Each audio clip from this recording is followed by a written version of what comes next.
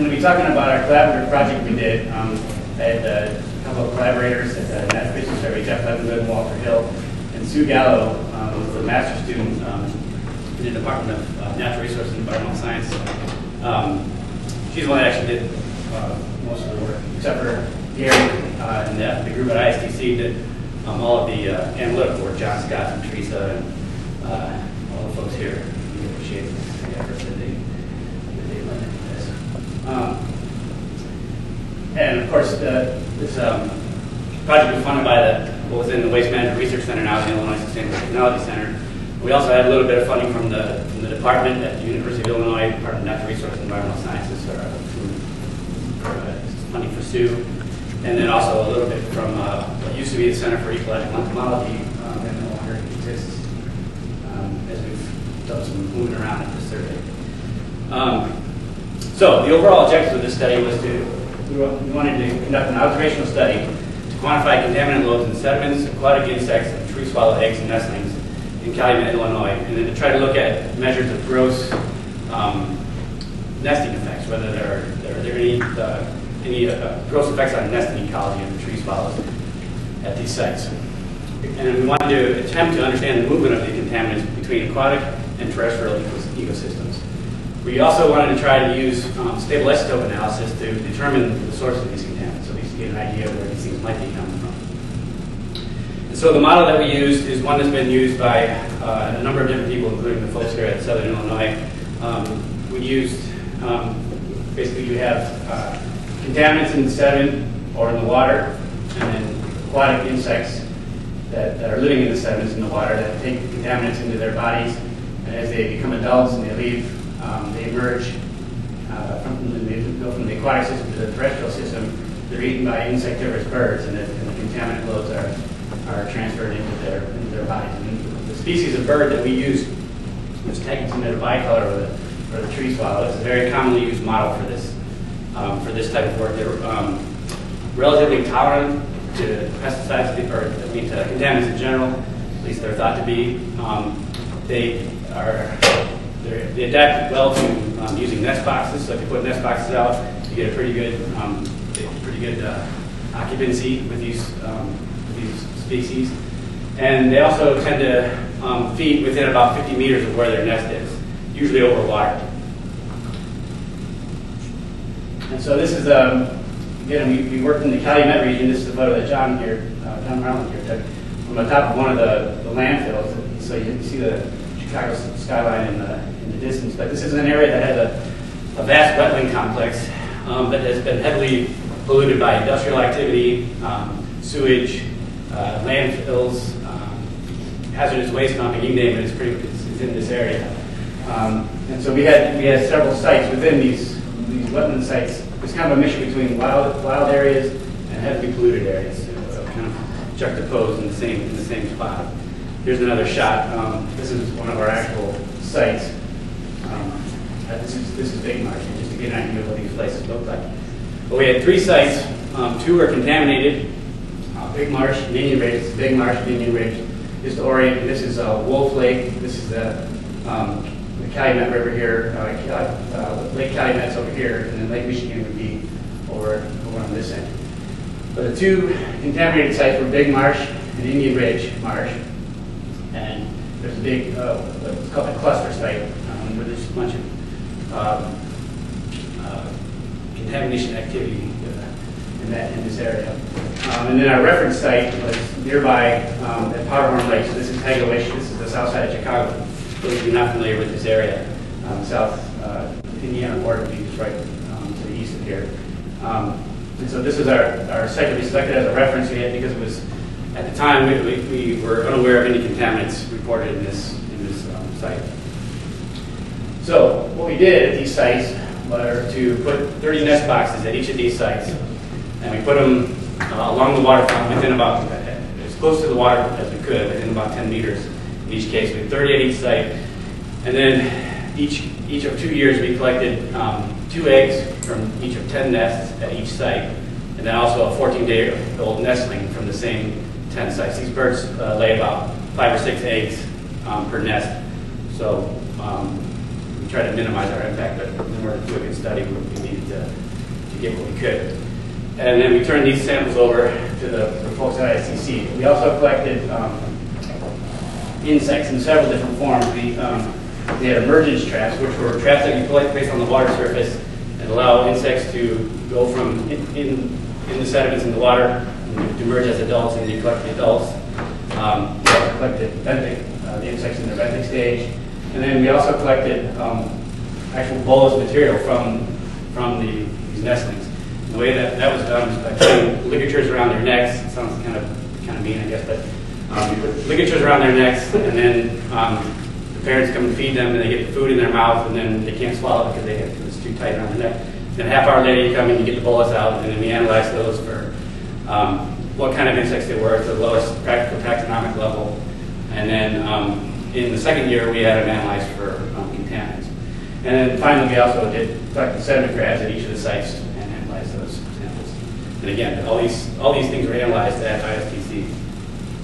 And what we analyzed them for was a, a slew of different things. We had 12 priority elements, um, including um, mercury in particular, um, and then approximately 60 different organics. Uh, a number of different to PCBs and PBDEs, DDT and its breakdown products, DDD and DDE, and then some other organochlorine pesticides. So looking at, uh, some of the results, we're looking at um, the nesting ecology. Uh, this is a comparison of the sites. Um, first, starting out here, we looked at a number of different um, nesting ecology endpoints, including number of eggs per nest, number of nestlings per nest, uh, nest success, hatch success, fledge success, and um, really nest success at all three sites was pretty good, from 69 to 83 percent. And there was really, in all these ones listed here, all these endpoints listed here, there were no significant differences from site to site. Remember, we had a reference site, which is Powderhorn, and then Indian Ridge and Big Marsh. We did see a difference in mass of nestlings at Big Marsh and Indian Ridge Marsh, but this was probably related to the fact that there was a greater number of eggs per nest. Um, so, so, the, uh, so Powderhorn, excuse me, Big Marsh and Indian Ridge had more eggs per nest, Powderhorn had fewer, and so the birds at Powderhorn were slightly bigger because there were fewer mouths at those, at those sites. Um, but the, what the figure shows is the other, the other, um, what we did see significant differences in when the dates were, when the, um, the nests were completed. So this is Julian dates, so just the number, the, day, the number of the day and the year that the nest was completed at the different sites. And as you can see in both years, the last, the, the sites were completed last at the reference site. So in the first year, uh, Big Marsh was significantly sooner than the reference in the second year. Uh, Indian Ridge was significantly sooner. But in both cases, nominally, they were, they, the birds tended to prefer the, the two contaminated sites.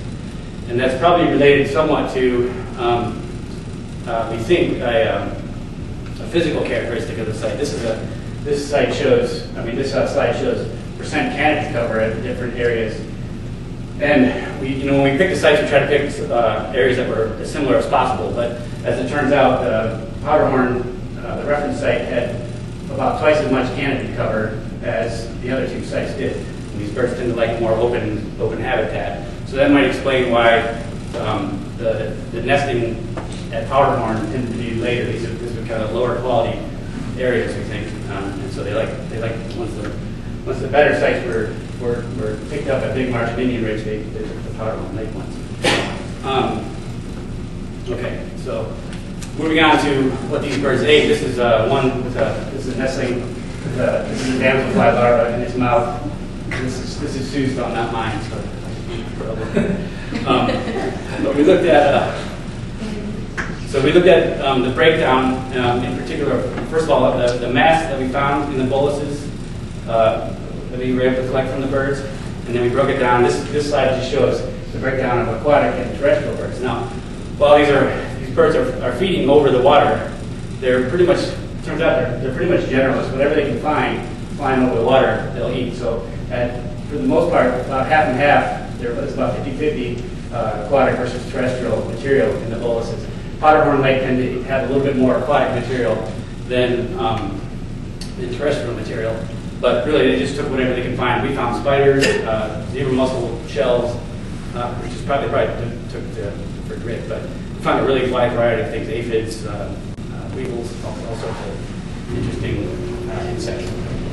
But the bottom line here, the bottom line that I want to point out was that that it wasn't just aquatic insects that these things are eating, it's both terrestrial and aquatic, and that may have impacts on the contaminant loads. So looking at the actual contaminant loads, starting with mercury, um, first focusing on this, this end of the slide, we have the three different sites, Big Marsh, Indian Ridge Marsh, and Powderhorn Lake.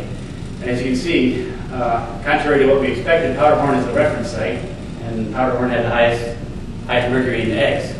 Um, and significantly higher, this is, this is just data for 2004, but the pattern was similar in 2005. Um, so significantly higher than both Indian Ridge Marsh and, um, and uh, Big Marsh. Now, the next, the next set here is, uh, these red dots are, th- these are the values in the nestlings. Um, and the red lines are the, what you would expect the concentration to be just from growth dilution. So if the birds um, just grew up and didn't eat any more mercury based on what was in the egg, you have basically a two gram egg and a 20 gram nestling. Um, if if only the concentration from the egg remained, and the nestlings grew up, this is what their concentration would be. But as you can see, the concentrations were much higher. They actually accumulated more at, significantly more at Big Marsh in this year than at Powderhorn, although they did, they did accumulate some mercury at Powderhorn as well, at the, at the reference site. And the, um, the pattern of accumulation in the nestlings somewhat mirrored, at least in 2004, somewhat mirrored the pattern that we saw in the insects. So that, that made some sense. But the, the interesting thing we found was that the pattern between the eggs and the nestlings were quite a bit different. And looking a little bit deeper at, um, at these mercury concentrations in the egg, this is egg, egg mercury concentration versus the Julian date of the first egg leg. So the, if you see that there's a positive um, correlation, so the, the later the eggs were laid, the more mercury was in the was in the eggs. And this, this is consistent with the fact that um, the, the, the birds that were at Powderhorn were the last ones to, to start nests. Ones, the ones at Powderhorn had the highest mercury in their eggs. So the ones at Powderhorn, highest mercury in eggs, later nest. Now this, along with the fact that we saw this difference in um, pattern between the nestlings and the eggs, kind of leads us to think that, um, that at least some of the mercury in the eggs has to be from uh, from off-site. So, so these, these tree swallows are migratory, and they spend the winter on the coast and in the southern United States.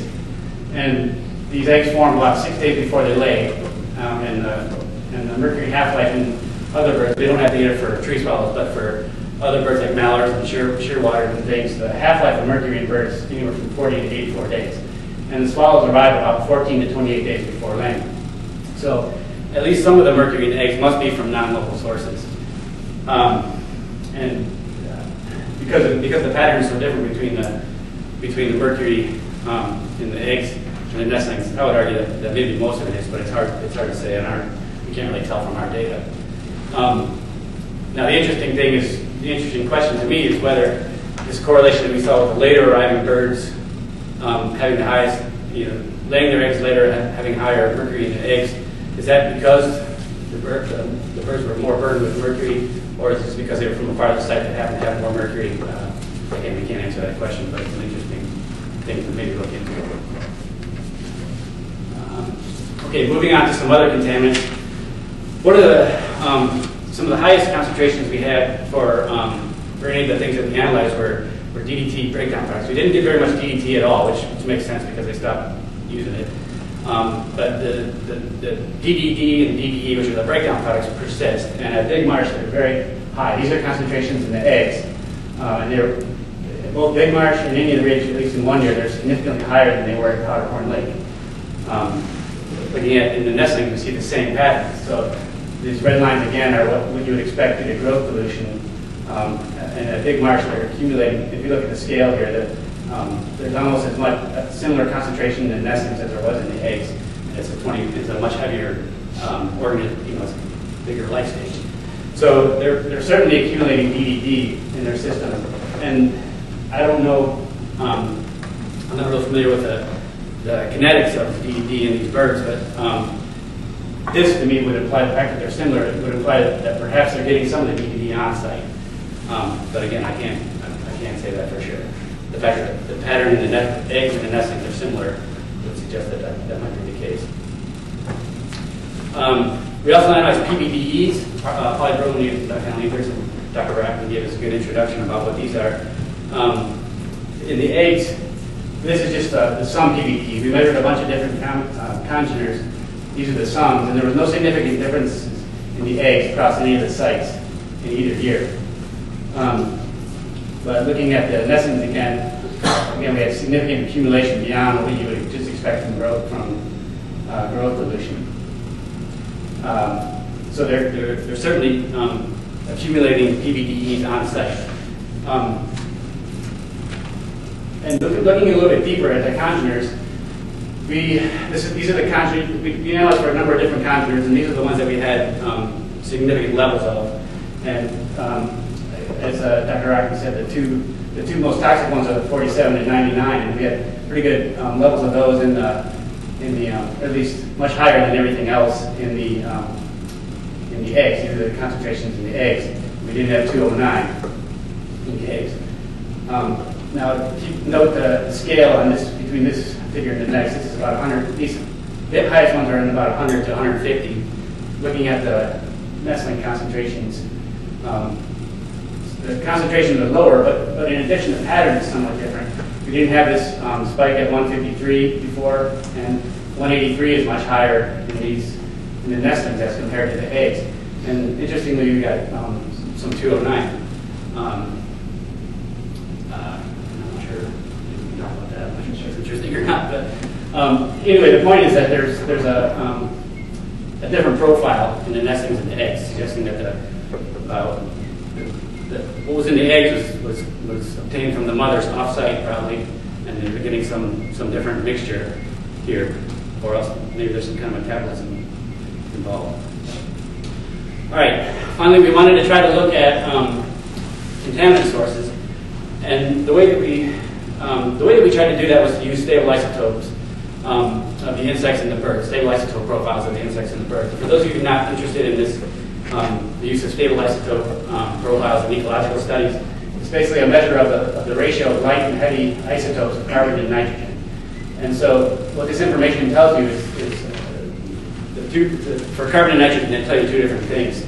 The ratio of heavy to light carbon uh, basically is a reflection of carbon source. So C3 and C4 plants um, produce different ratios of carbon-13 and carbon-12. So, um, so for example, uh, an aquatic source of um, an aquatic plant might have a different C13 to C12 ratio as a, as a terrestrial plant, for example. So something that eats mostly, um, mostly, uh, oh, because um, there, there's very little change with increasing trophic level, something that eats a, an aquatic plant will have a similar C13 to C12 ratio as that, that plant. And the other, um, uh, on the other hand, the ratio of N15 to N14 is more of an indication of trophic level. Um, and that's because um, organisms can excrete N14 at a faster rate than N15. So if you have a certain, certain ratio of N15 to N14, you excrete, or you excrete N14 faster, and then the thing that eats you is going to have, so that it's going to have a high, even higher ratio. So the higher up you go on the trophic level, the higher the ratio of N15 to N14. Um, and usually they say that an increase of, of uh, about 3.4 uh, per mil, uh, which is the units they use for this, is, is, is approximately one, one um, trophic level. Now these results are expressed as delta 15N and delta 13C, um, which is which is indicative of the, radio, the ratio of the isotopes in the sample relative to the ratio in standards. And the standard for uh, nitrogen is air, and the standard for carbon is uh, mineral PD dolomite. Now what you can do, so what this tells you, if you, if you plot, um, this is just an example from the aquatic system, if you plot carbon 13 along the x-axis and those, the delta 13 C values are using negative numbers, and then plot uh, delta 15N on the, on the y-axis, you see that there's a separation, there's a gradient between the different plant, different uh, um, lower materials, plant materials, and then the fish would be at the top and invertebrates in the middle.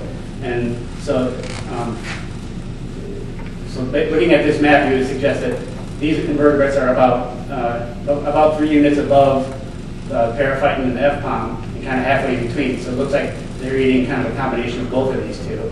And then fish are about the same um, horizontally, um, but about but about three units up the y-axis above the invertebrates. So they, the fish are probably eating these other invertebrates. So that's what that's the kind of information you can get from this. And the way we used it in this study was to look at the the bolus material, uh, the aquatic insects and the terrestrial insects, and get the stabilized isotope profiles of those of those insects from those boluses. And you can see these are the, the delta N15 values and the delta 13C values. Um, and there's a there's a, a small gradient, but a gradient between between the aquatic and terrestrial um, bolus insects. And we use these as, as a way to kind of calibrate um, when we looked at the isotope profiles of the birds. And so if you take the, um, so as an example, if you take from Big Marsh the birds, um, the, sum PCB concentrations in the birds at Big Marsh, and, and do a correlation analysis of that with the delta 13 carbon values along the x-axis, you see that as you become more negative in delta, delta C13, you have a higher concentration of some PCBs. These are, again, concentrations in the birds. And as we saw from the previous slide, um, oops. At Big Marsh, the C13 values, the lower, the more negative values were associated with aquatic insects, the less negative values were with the terrestrial insects. And so, yeah, this, this gradient, so these would be, tend to be more associated with terrestrial insects, these more associated with aquatic. And so we did this for all the different um, contaminants that we do, and, and we generated a table. This is a, all the um, significant relationships we had. Um, and so, for example, um, PCB concentrations 44, 52, and 105, the higher concentrations of these concentrates were correlated with higher um, delta N15 values and less negative delta C13 values, and those would be associated with terrestrial insects in this case. And as you move down the line, you see that in quite a few cases, and in particular, often with the PBDEs, you're seeing, except for the case of uh, number 47, but in this case as well, the PBDs tend to be more associated, at least according to this analysis, and if this, if this is logical, a lot of these contaminants are more associated with terrestrial um, insects, more so than aquatic insects.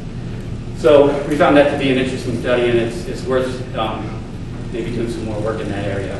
Um, so to conclude, uh, we did find that the tree swallows in Calumet were accumulating a variety of contaminants due to the diet, mostly um, DD, uh, DDT breakdown products. Those are the ones that were at, at the highest levels compared to other literature values.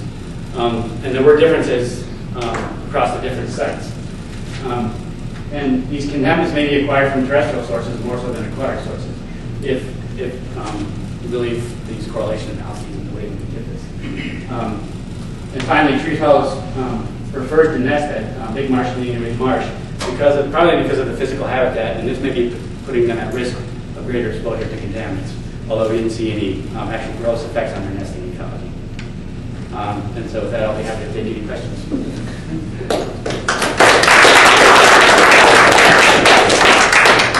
The uh, isotope? Um, we, we, we sent it to the lab at Cal Davis, and it's just uh, uh, I should know that, but I can't say it.